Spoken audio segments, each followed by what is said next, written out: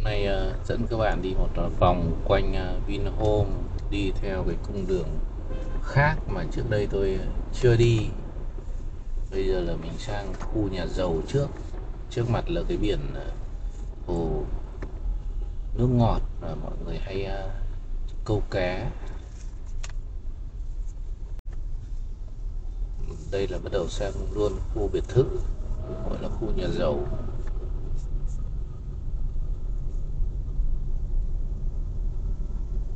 Trên mạng thì à, chia sẻ về cái bất động sản chỗ này rất nhiều người à, vẫn nghĩ câu chuyện là ngáo giá các bạn ngáo giá hoặc là bao giờ mua được nhà ở thì thực ra là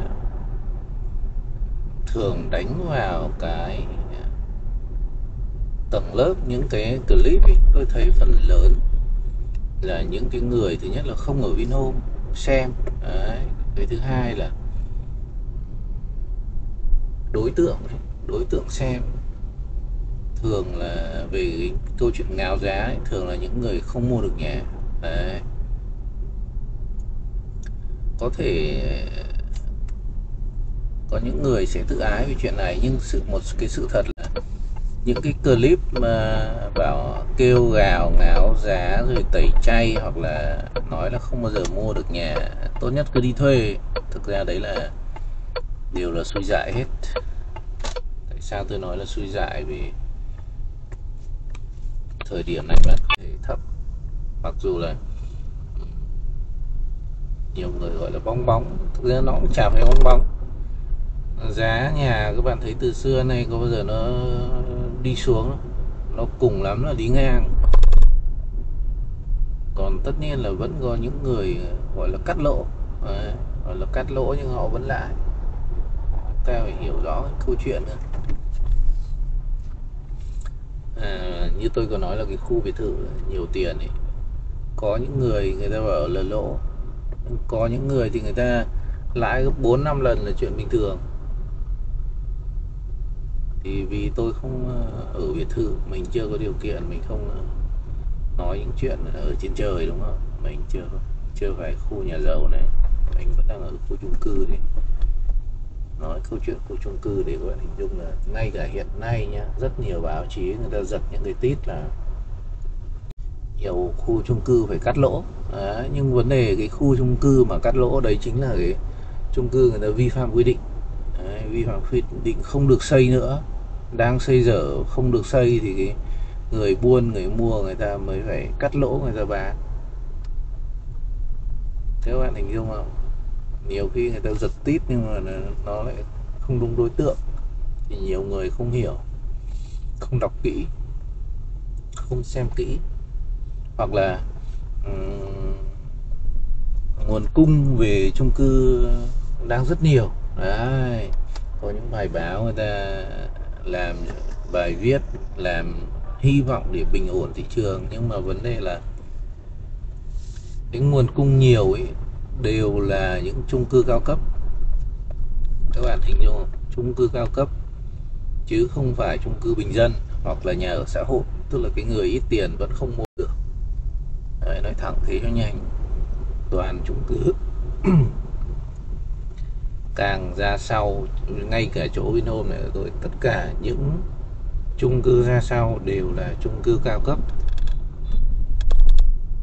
Hoặc là có thể bạn bảo là chưa xứng đáng với cao cấp thì nó cũng cận cao cấp hoặc là nó cũng đã trên bình dân. Có nghĩa là sao? Người ta làm uh, xịn hơn. À, xịn hơn và có những thứ hoành tráng hơn. Ví dụ như là có bảo vệ có lễ tân. Bảo vệ lễ tân là người ta đã tính riêng rồi. Hoặc là sảnh vào như khách sạn có cả phòng chờ các thứ. Thì nó cao cấp hơn. Đấy. Hoặc là có bể bơi ngay bên trong, có khu vui chơi, có phòng họp. Đấy, chẳng hạn là lúc đầu tôi cũng, nếu mà bảo rảnh, tôi còn chỗ tôi là có chục phòng họp luôn. Mà cư dân thì có thể à, đặt phòng miễn phí. Có nghĩa là mình thích họp ờ, các thứ là mình đặt lịch, họp ờ, chục người. Chả ok à? Đúng không? Hay là vừa đi đến khu trung tâm thương mại, bây giờ đi sang đằng này. Cái thứ nữa là đánh thuế nhà thứ hai. Nói thật với các bạn, khi đã nhu cầu bạn đánh thuế thế nào, người ta cũng sẽ hết ở nước ngoài. Có đánh thuế nhà thứ hai cũng gọi là giá vẫn lên chóng mặt. Nhu cầu mà, nhu cầu rất nhiều mà nhà xây ra nó đang không đáp ứng được bạn chờ bao giờ người ta xây quá thừa ấy. Nhưng mà làm gì cái chủ đầu tư lại đến mức là xây thừa nhiều quá, người ta phải biết điểm dừng, các bạn hình dung không? Nên là chờ thừa nhiều quá, như kiểu bên Trung Quốc rồi, họ phá sản, chung cư chỉ có vài người ở. Thì đấy là,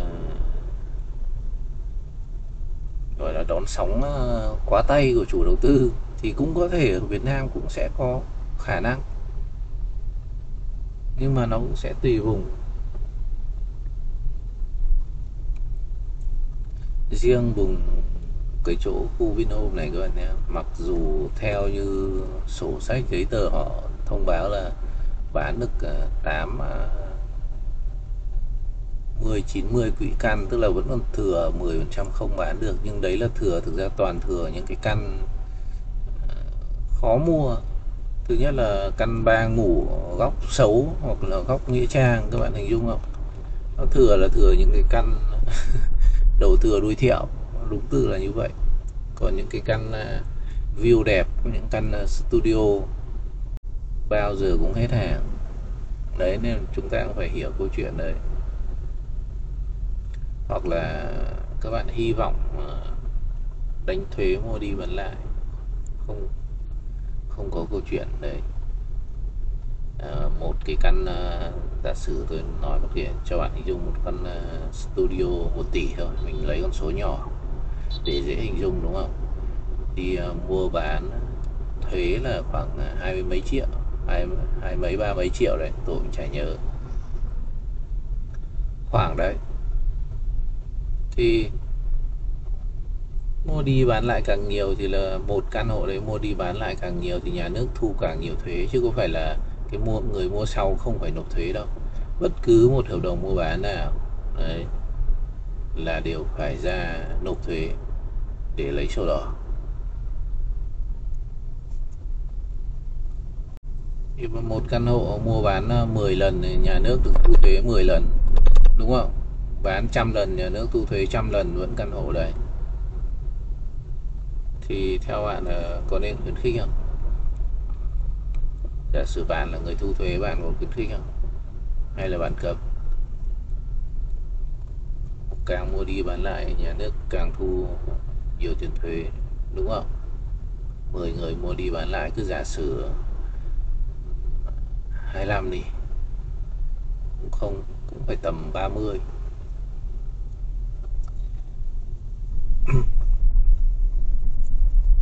1 tỷ mà mất à, uh, 30 triệu tiền thuế. Đấy xong à, uh, 10 lần mua đi bán lại là 300 uh, à, tiền thuế rồi đúng không? Trăm lần mua đi bán lại được căn hộ 1 tỷ uh, thu được 3 tỷ tiền thuế. Giả sử thế tất nhiên là chờ được trăm lần mua đi bán lại thì cũng hơi lâu nhưng nhưng mà chục lần thì chắc chắn là có. Đúng không? Cái thứ nữa là nhu cầu đổ về Hà Nội nhiều lắm các bạn. Mọi người cứ bảo về quê, lập nghiệp, xin lỗi. Bạn về quê, khách hàng ờ, quê là khách hàng như thế nào? Người ta có chịu chi hay không? Đúng không? Bây giờ ờ, bạn mở một dịch vụ ở quê, tất nhiên là vẫn có, đúng không? Nhưng mà khách hàng làm sao nhiều được bằng ở trên này? Đây chúng ta chưa nói online nhé ờ, không thể nào nhiều được bằng khách hàng ở trên à, Hà Nội. Hoặc là những cái thành phố lớn. Nên là nếu mà đây là trước mặt, bây giờ đến khu chung cư, các bạn kỳ vọng là để cho nó giảm giá rất là khó. Như một số tôi vẫn nói, một số người quen của tôi từ khi à, 4 năm năm trước khi tôi mua ở đây này họ có người nhiều tiền hơn mình nhiều họ do dự không mua. Hồi đấy tôi thì làm gì có không có mình đi vay mượn. Vay uh, hồi đấy là ngân hàng chỉ cho vay 70% mình phải có 30% mà 30% đấy của tôi là cũng phải đi vay. Uh, người thân mà như tôi có nói là có duy nhất một anh khách hàng anh cho mình vay đầu tiên vay à, trăm rưỡi thì anh à, rút luôn trăm rưỡi anh cho vay trong hôm sau. À, mấy hôm sau, vợ máu muốn mua căn shop. Vay hơn tỷ nữa, anh cũng cho vay. Đấy, tức là tất cả tiền của mình là để đi mua, ở đây là đều đi vay mượn và hai năm sau mới trả nợ hết. Để các bạn hình dung là tay trắng không có gì mà bây giờ nhiều người có điều kiện. Các bạn có mấy trăm có người có mấy trăm có người có uh, mấy tỷ. Mà cứ uh, chần chừ hỏi tôi là có nên mua hay không. Đến bây giờ vẫn không quyết định tiền vẫn để trong ngân hàng mà lãi suất ngân hàng làm sao sao mà đủ được đúng không? Đấy, bây giờ tôi quay lại tôi ra cái khu vực này tôi ờ, ngồi thì làm clip tâm sự chia sẻ với bạn một chút trên ô tô thế thôi chứ cũng chả biết là tí nữa có về cóp được hay không. Nhiều khi cứ nói ở đây thì thôi, nhìn thì vẫn thấy nó ghi, nhưng mà lúc mang về cóp thì chả cóp được. Đấy gọi là cơ duyên.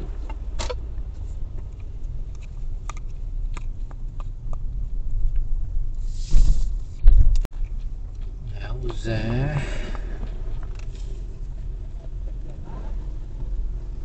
Ngay cả ví dụ thự ở đây nhé tôi không biết uh, giá bao nhiêu. Mấy chục tỷ một căn biệt thự ở đây. Ra nước ngoài cũng mua được một căn uh, biệt thự. Nhưng mà nếu mà xét về tăng giá chưa biết thế nào luôn. Ở nước ngoài nhé các bạn mua biệt thự cũng rất là nhà là mình gọi là biệt thự nhưng ở đấy gọi là nhà mặt phố thôi. Cũng có khi một hai tầng cũng cực kỳ khó luôn. Không có nhà mua mà mua là phải đấu giá, chứ không phải là như ở đây là thích mua thì mua đâu. Mua, muốn mua là phải đấu giá. Đấy. không dễ làm để mua được đâu mà. Nên mua được là rất là đắt đến lúc ờ, ông ờ, chủ nhà ông không ở nữa, ông bán ấy. vẫn đấu giá. Không dễ mua nên giá rất là cao. Mà đã đấu giá thì các bạn biết rồi, làm gì có khái niệm rẻ. Không bao giờ có khái niệm rẻ luôn.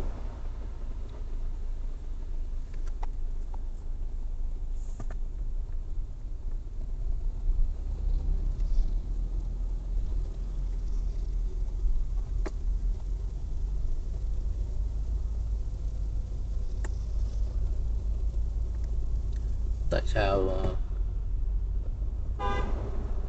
câu chuyện nước ngoài vì thực ra là nhiều người người ta cũng ờ, nói về chủ đề người ta buôn đất ở nước ngoài. Giá cũng lên rất là cao. Đấy, bạn có nhiều tiền nhiều tỷ mấy chục tỷ đấy bạn mua ở đây trong nước. Có khi nó có mua những cái chỗ nó không lên cao được. Nhưng mà mua ở nước ngoài thì nó lên khủng cũng khủng khiếp luôn ở nước ngoài thì đúng là còn tranh nhau bởi vì là phải đấu giá mới được mua.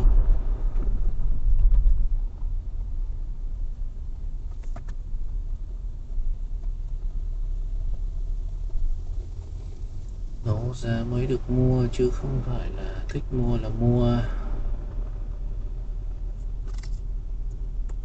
Thậm chí là gửi thư cho chủ nhà chủ nhà ưng ai mới cho người tham gia đấu giá nên nó còn quái qua một khó khăn như thế. Vì ở nước ngoài người ta luật nó nghiêm và chặt. Muốn ờ, xây dựng cao tầng là không có. Chung cư là cao nhất là 6 tầng. Mặt sàn thì nhiều nhất là 6 căn. Rồi chung cư nhưng mà cũng dạng cao cấp. Nó toàn những căn hộ không có kiểu chen chúc như của mình. Nhưng mà chính vì người ta cho xây ít thế nên là nó rất khan hiếm luôn.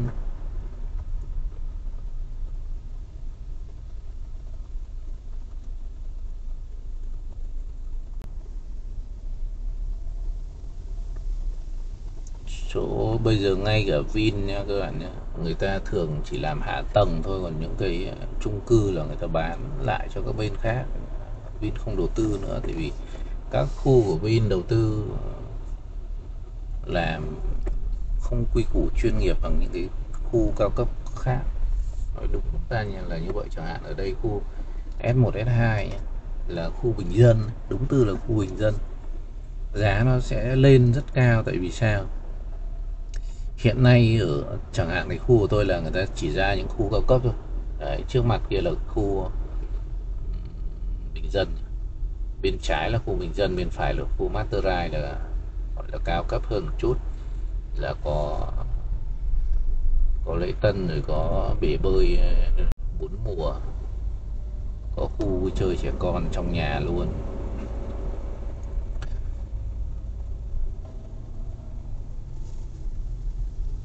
Thì giá nó cao hơn, giá cao hơn nhưng mà vẫn hết đấy các bạn.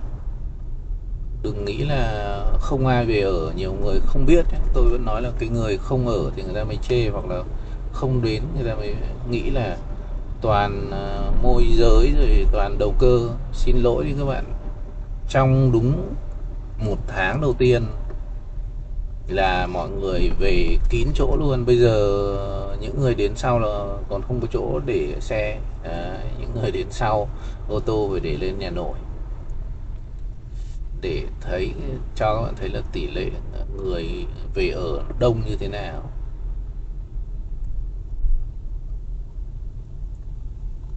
Những cái khu sau này Beverly này Zurich này London này Paris này nó là mặt đường rồi nó gần ga vượt nhà ga hình như tuyến số 8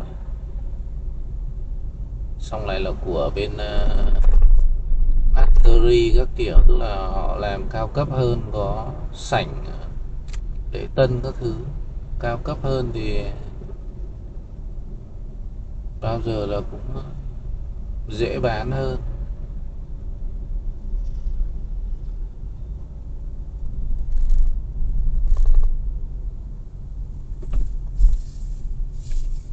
Những cái cơ bản bạn nhìn thấy ở Vin chỗ khác không có nhé thứ nhất là khu vui chơi trẻ con nhé ở chỗ nào cũng có khu vui chơi trẻ con.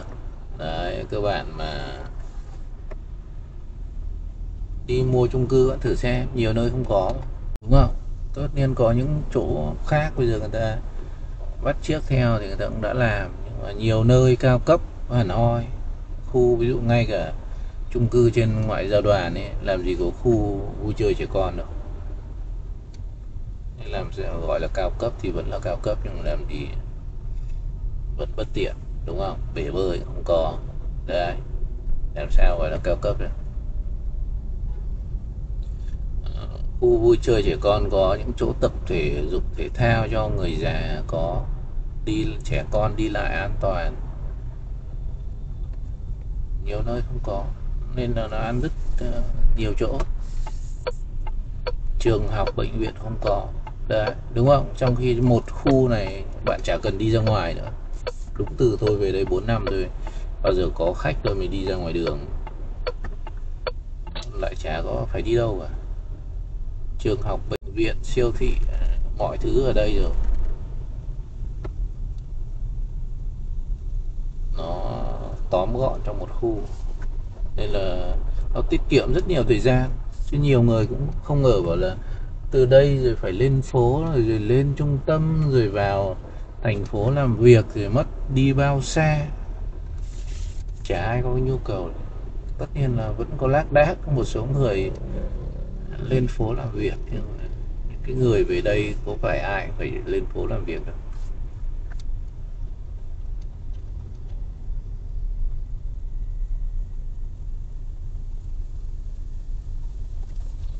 những cái nhà mà ở gần cái khu Materai, nhà giàu này nó cũng được hưởng lợi vì view nhìn ra những cái khu nhà giàu này nhé các bạn. Buổi tối nhìn lung linh, cái khu sân nhật bên tay phải tôi này. Nhìn lung linh, giá tăng, kinh khủng luôn. Mua vào một, hai tháng người ta có giá mấy trăm.